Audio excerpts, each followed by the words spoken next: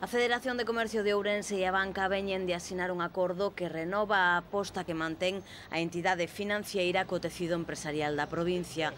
En virtude deste, os establecementos asociados terán a súa disposición condicións especiais nos servizos bancarios necesarios para a súa actividade. Así, os asociados poderán contratar produtos como pólizas de crédito, préstamos persoais e hipotecarios, leasing mobiliario, anticipos, avais ou liñas de desconto comercial social. Grazas a este convenio tamén poderán beneficiarse de liñas de financiamento especial do Plan Activamos. Do mesmo xeito, os profesionais pertencentes á Federación poderán optar ás fórmulas de financiamento oficiais incluídas nos convenios que a entidade mantén co ICO e IGAPE, así como coa Sociedade Galega de Garantía Recíproca, Sogarpo.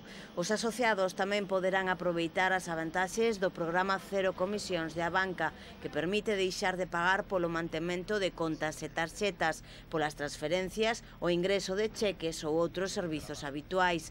Ademais, poderán optar a tarifas personalizadas na alta e mantemento de dispositivos TPV.